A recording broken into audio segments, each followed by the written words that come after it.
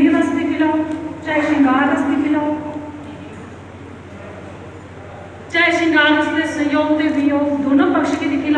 ਤੁਸੀਂ ਹਰ ਇੱਕ ਪਕਸ਼ ਕਨੇ, ਹਰ ਇੱਕ ਪਹਿਲੂ ਕਨੇ ਤੁਸੀਂ ਇਹ